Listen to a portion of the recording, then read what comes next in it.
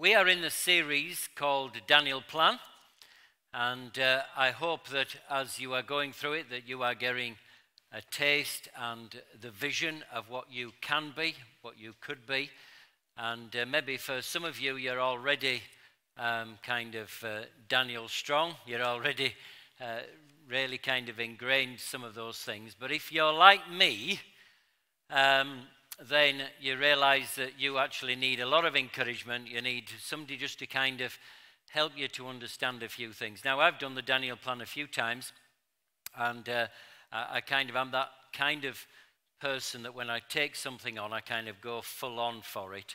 The problem is, of course, is that unless I have people around me supporting that, it's only a matter of time before I uh, swerve to rot and uh, back into the bad habits. And uh, I know that doesn't, none of you have ever experienced anything like that.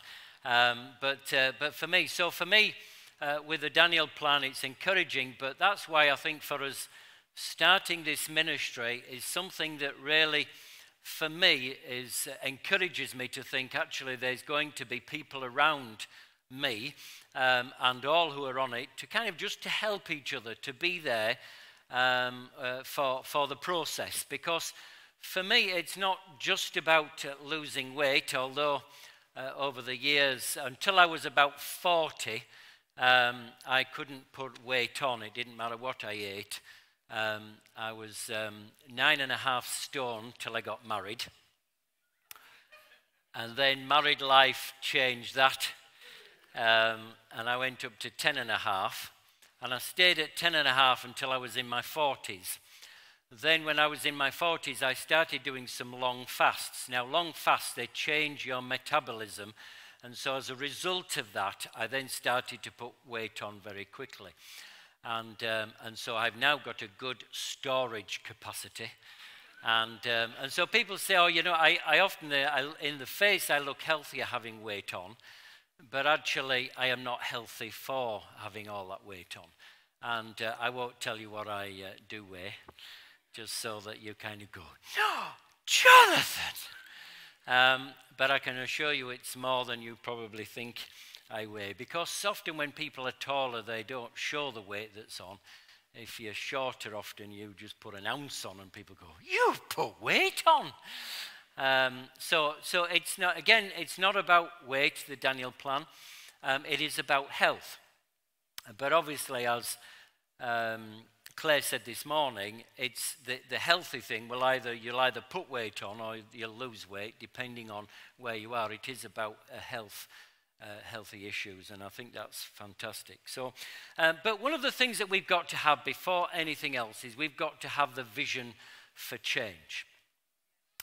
And um, I, I, when I was thinking about the, today, today I'm going to talk about setting goals. But if you don't have a vision, then what are you going to set goals about? So the first issue is you've got to have a vision in your life for how you want to see life in the future.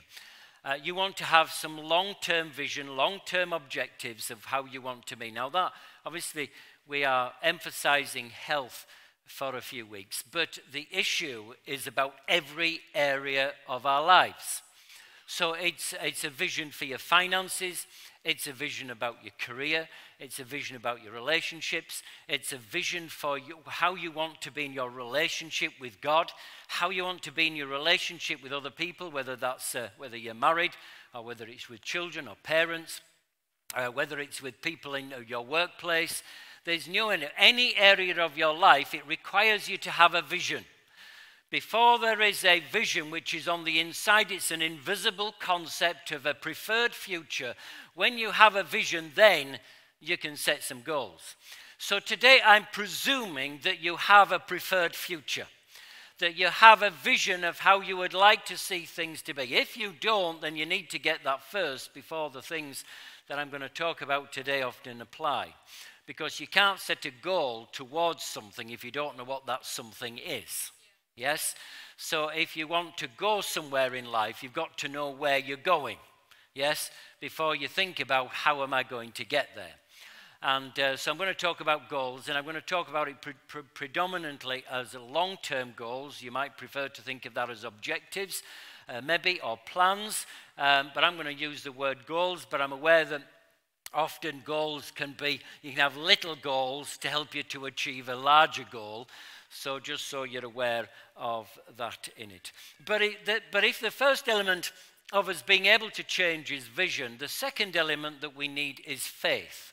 We've got to have the belief that we can change. We've got to, you know, we've got to have that uh, sense in us and that understanding that, yes, I can do this. I can be different. I can achieve this. I can do this. I can become this, uh, whatever that might be in his life. So that is the second element of change. And so that's what I want us to talk about today because unless you believe you can change, you're never going to set a goal for change. And so that is what I want us to, uh, to look at uh, today. So, the big question you might be asking why do I need to set goals? You might be, uh, you know, I've talked to people over the years, and some of people, oh, I don't set goals, I don't see the need for it, I don't. And, uh, and I kind of inside me, I'm thinking to myself, no, goals are good.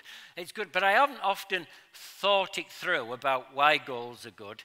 And uh, because often you just either, sometimes we set goals, so often without thinking we've set a goal, but we have done because it's something that we're wanting to achieve. So you might be saying to yourself, well, I'll, um, I'd like to learn, um, you know, to do, learn a language. Well, what's the reason you want to learn a language? What's the why behind it? But often we don't think about that. I just think, oh, I'd like to be able to speak German or something like that. And so you enroll on a core course and then you do that. And if you find it too difficult, oh, blow that.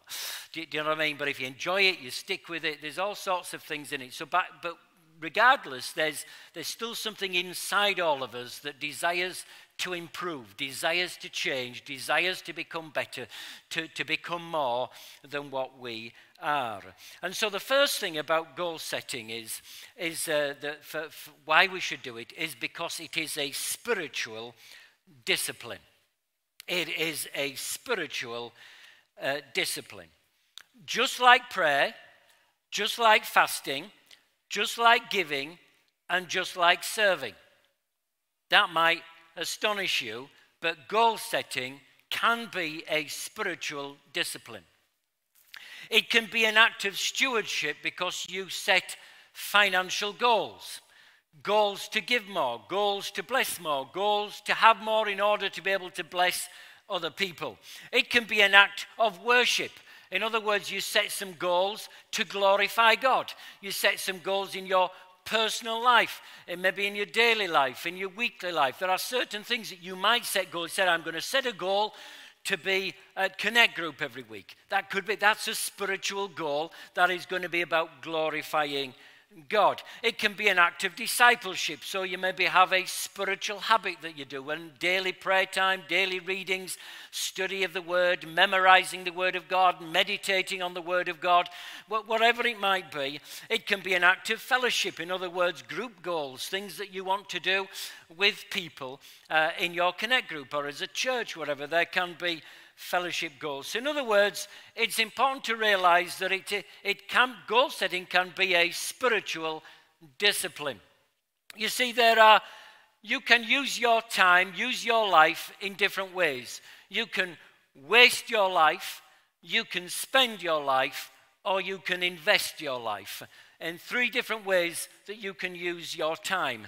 And I want to say it's good to invest your life for something bigger than your life. Invest your life in something that's eternal, something that's got longevity to it. Yes? But, but to do that, you've got to remember it is your choice.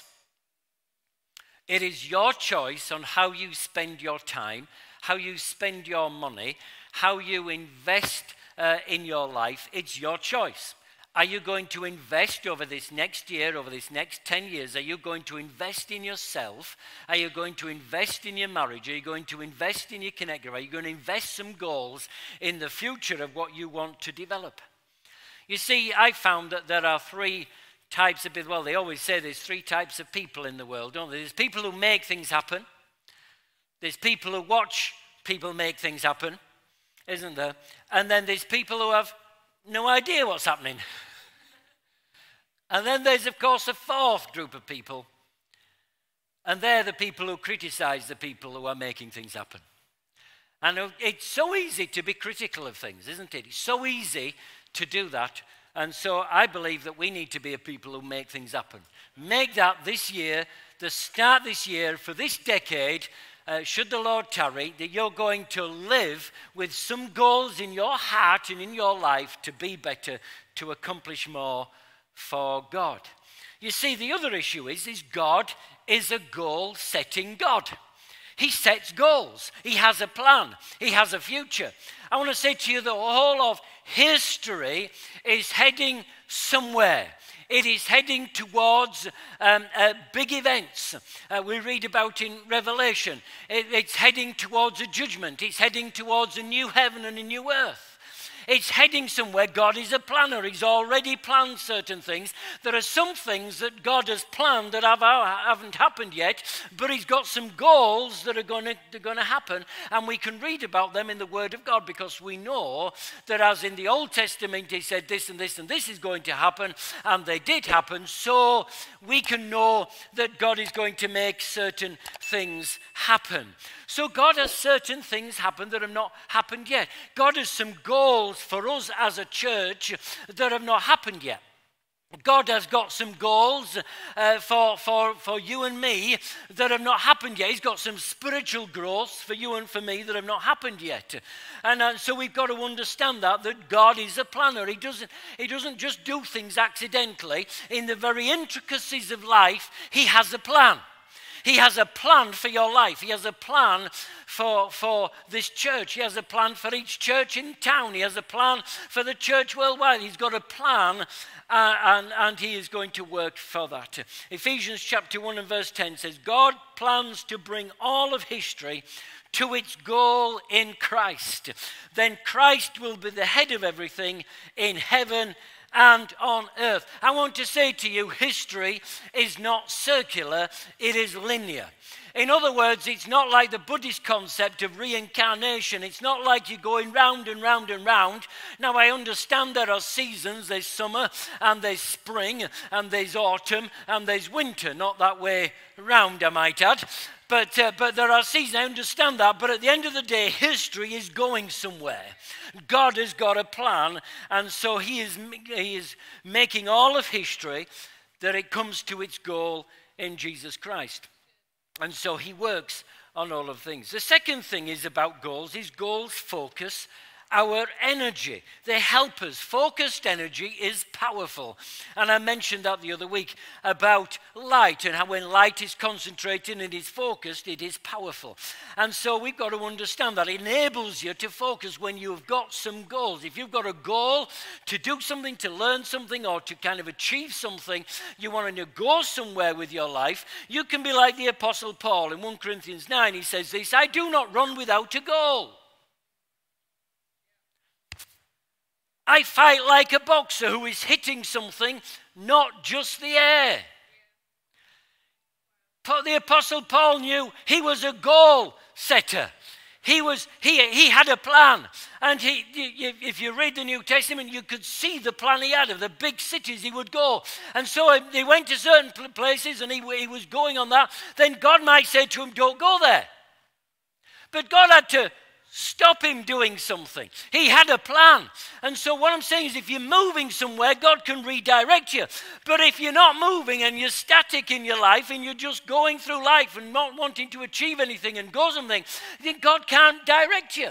You can't direct a stationary vehicle. Yes, it has to be moving and your life has to be going somewhere. And it's so important for us. Now, the issue is, is we often go around life in circles with no person, purpose. But we need to spend the time necessary to have a purpose, to understand our purpose. And we talk about our purposes all the time as a church. What are the five purposes that God has for our life? He has for every single person on planet Earth. He has the five purposes that He wants for them. And so we, we, we go through that regularly about those five purposes. And so we need to realize to not waste our time on second class causes, on things that are just time wasters and, uh, and, go, and going You see, trivial pursuit is not just a game, it is something that too many people are just in the thing. They're just, everything's trivial. uh, they're not doing anything with meaning and purpose and with, a, with achievement. We have got to have uh, intentional neglect. Sometimes you need to neglect certain certain things in order to be able to achieve things. But if you don't know what that big thing is that you're focused on, then every little thing and every Tom, Dick, and Harry is able to veer you off uh, where, you, where you're going. So you need to have the goals that you're setting for in order to be able to achieve it in every way. Somebody who wants to learn to play the guitar, for example, has to stop doing some things in order to be able to do what they need to do. Yes?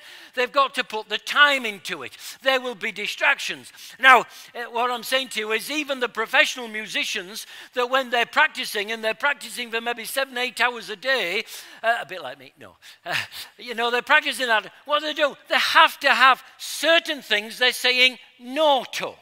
Well, goals enable you to say no to some things and yes to other things. Are they in line with God's purposes for your life? We have got to know the difference between urgent and important. You've got to know the difference. Now, you see, the thing is, the problem is the urgent is rarely important. But because it's urgent, we kind of put our energies into that and we go down that route when in actual fact we need to be understanding that the important things are often the things that, that are easy to neglect. They're the things that nobody sees so often are the important things, like spending time in God's Word. Who knows whether you have or you haven't? Do you know what I'm trying to say? Prayer time, you know, different things. So often the important things are the unseen things, and we get them the wrong way, way round. Spending time with the family, for example, is a priority. Ephesians chapter 5 says this make the most of every opportunity for doing good in these evil days. Let's not waste our time. Let's recognize the difference between activity and achievement. You can be busy, busy, busy, busy, but not achieving the things that God has planned for you, the goals that you need to be going for. We've got to know the difference between production and reproduction. We've got to know the difference between urgent and important. The world is full of distractions. I want to say to you, I'm easy be distracted. Do you know what I mean? You come down to study and you think, oh, need a cup of tea first. So you go put the kettle on, get a cup of tea. Oh, my pencil needs sharpening. And then you get your pencil sharpened and you, there's something, you know what I'm trying to say? So it's so easy, isn't it? And of course, by the time you get down and everything's in place, you've got to go on and do something else. and so that's how life is uh, with us. So a simple thing is to have a to-do list. It's a very simple thing, but each day have a to do list, have a week's to do list, whatever it might be.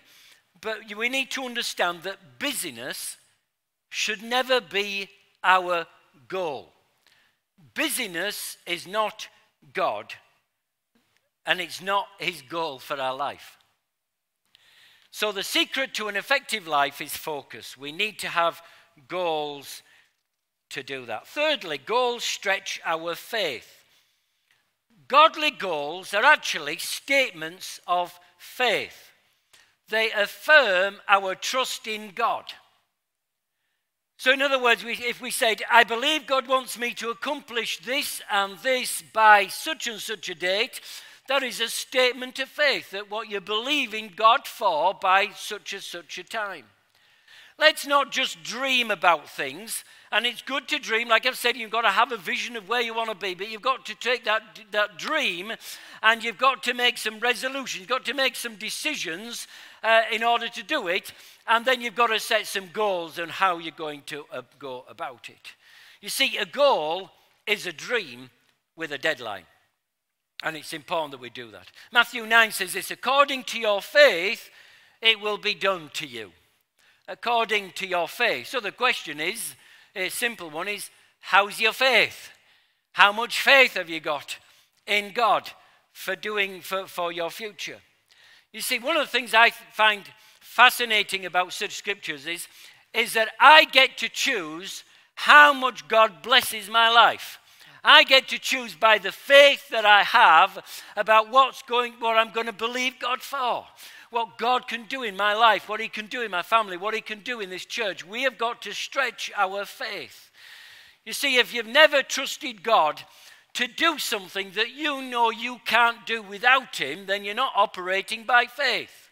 Faith is so important. Ephesians 3 says this God is able to do far more than we would ever dare to ask or dream of, infinitely beyond our highest prayers, desires, thoughts, or hopes. God can blow our mind in what He can do. He can do far more than if you think that, you know, there's something that can. I want to say to you, God can do it. You think of how He has created the universe and sustains the universe into the out it reaches.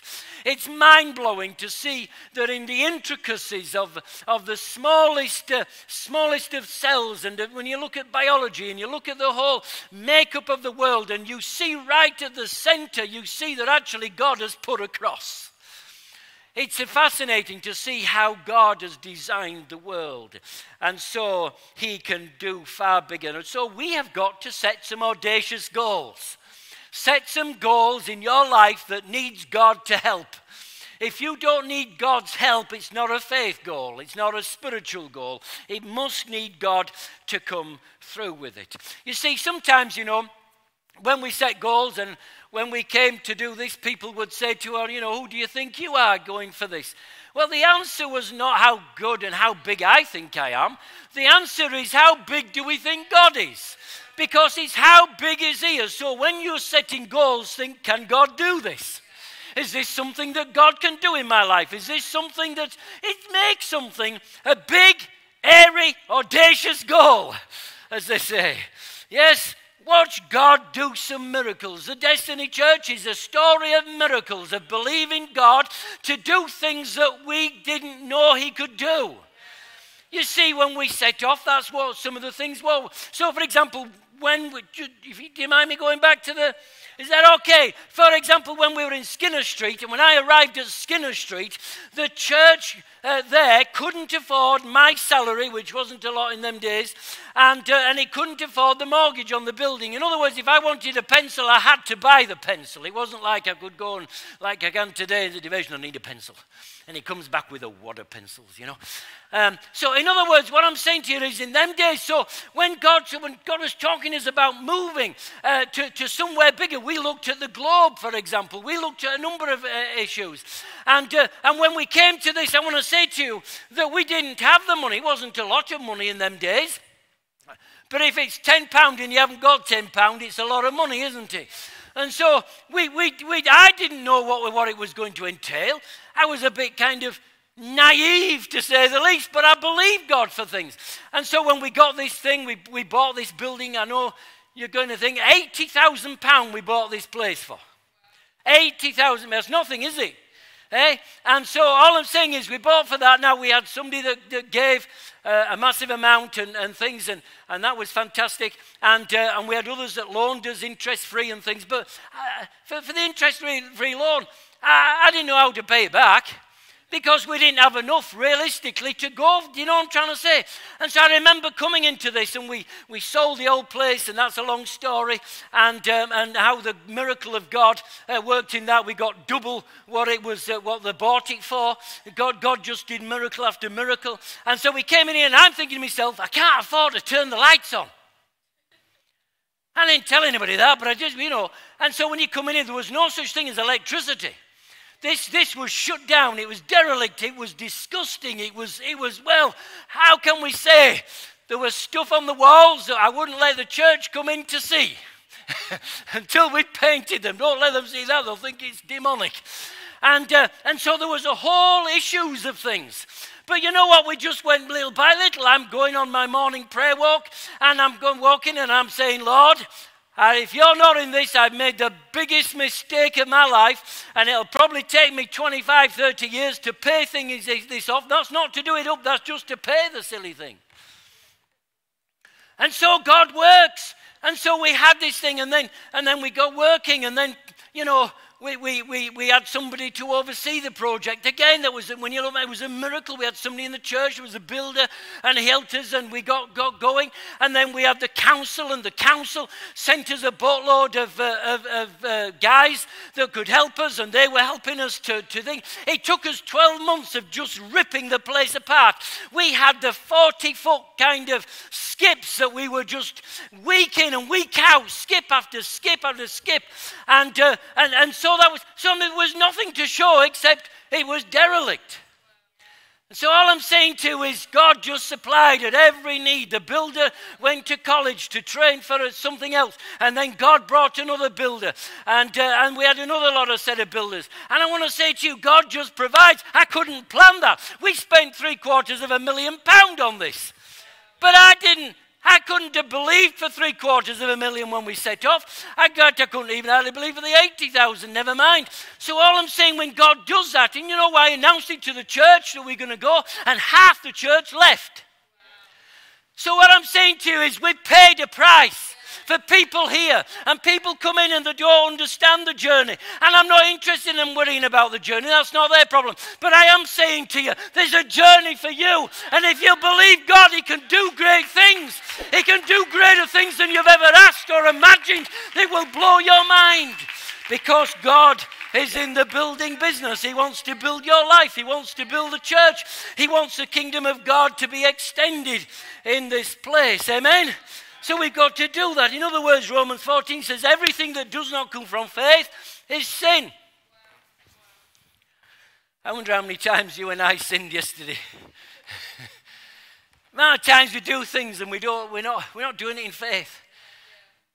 It's, I want to say to you, just think what God could do if we believed Him, if we had the faith to trust Him for new things. If you're not taking risks, you're not taking risks for God, then you're not living by faith. And God wants you to live by faith. He insists that we depend on Him.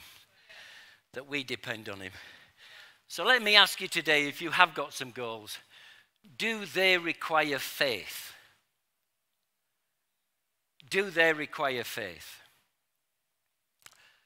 And if not, then ask you, what goal should I set that would require faith? So that this morning you'll walk out of here.